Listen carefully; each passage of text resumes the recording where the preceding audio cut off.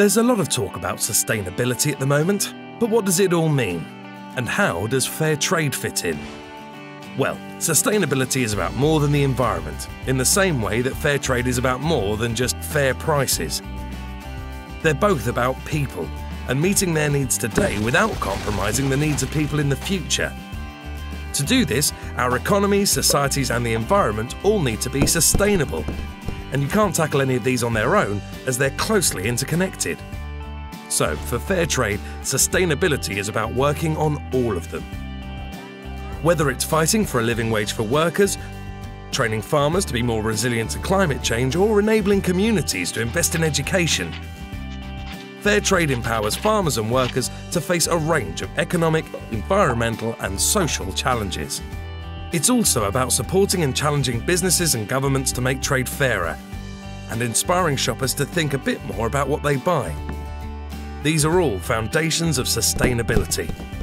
Uh, let's give you an example.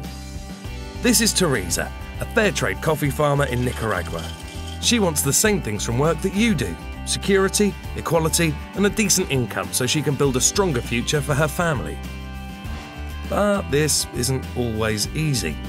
Farmers face all sorts of challenges and often don't have resources or the support to tackle them. So, how does fair trade make a difference?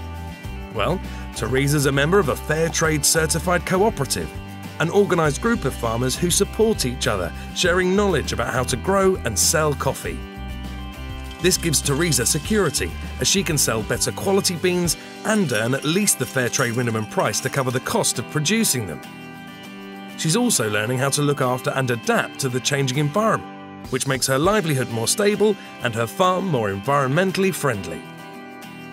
Teresa's cooperative want women and men to gain equally from farming, so they've used the Fair Trade Premium, the extra money they get to spend on business or community projects, to support women like Teresa to market their coffee and gain more independence. Teresa also used a small loan scheme funded by the Premium to buy more land, which has allowed her to increase her productivity and income and make her a more reliable supplier. These economic, environmental, and social impacts contribute to a more secure, equal, and sustainable future for Teresa, her family, and her community. And it goes wider than that. Fairtrade works with over a million other farmers like Teresa every year.